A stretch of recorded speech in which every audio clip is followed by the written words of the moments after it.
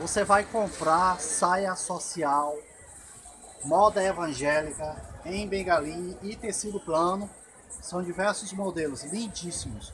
Diga eu quero.